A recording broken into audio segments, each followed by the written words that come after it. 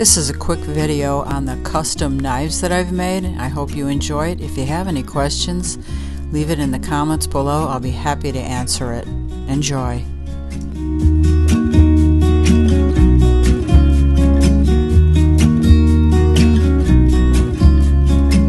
I etched all parts of this knife, including the blade. I don't know if that will affect its sharpness or not, but I did it anyway. But you can see that it's just pine trees and a mountain scene, and uh, there's a clip with it. So it's it turned out pretty nice, I think. I did it with a Dremel tool, so it, it's um it's cool.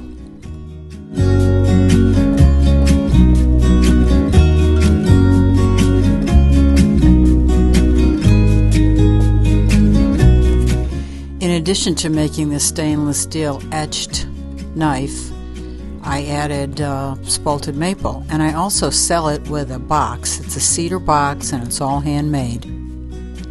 This part of the knife I etched to look like an animal's head, with a nose, an eye, and an ear, and hair.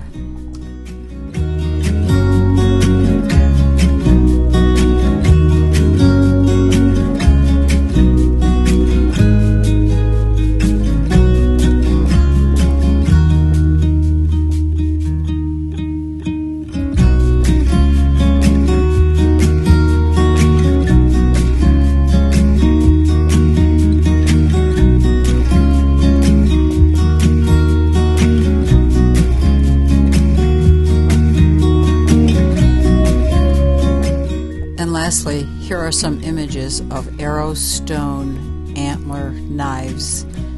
The same way that the Indians, well, maybe not the same way, but close to the same way that Indians used to make them. They are etched with different scenes. Some have tines and some have crowns, and they are all bound together with a uh, lanyard, a leather suede lanyard.